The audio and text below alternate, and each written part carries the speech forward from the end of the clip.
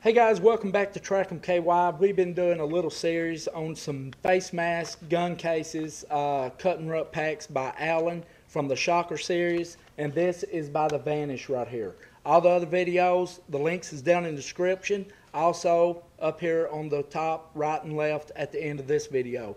Uh, turkey season's just around the corner. Uh, I've done showed one mask by Shocker for turkey hunting. It's got the slots in it for uh, running your mouth calls in uh, easy access to get to them. And this is another one right here for you guys that don't wear a hat, that don't like wearing a hat when you're out in the field. And it can be used as a gator mask. It can be used as a complete seal mask, whichever way you prefer when you're out there in the field hunting, coyote hunting, turkey hunting, bow hunting, rifle hunting, whatever kind of hunting you do.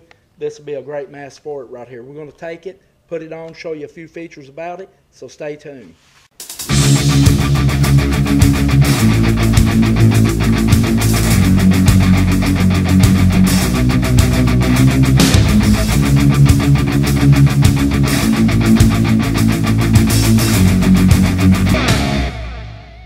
First up, guys, I want to show you this mask right here. You can see just like with all Allen's mask, uh, it's got the netting right here for good airflow when you got the mask on. Also, guys, you can see when I got it on right here, I've got it as the gator mask right now. But with just in a matter of seconds, you can take the mask, pull it over, and you can be completely concealed for you guys that don't wear a hat in the field, whether you're a turkey hunter, deer hunter, coyote hunter. This is a great mask right here. Uh, it doesn't block no field of view on your sides. You're all open right in here to be able to see whether that old Tom comes up on your right or left or that big buck. So go check it out, guys. This is in the Vanish lineup Realtree by Allen.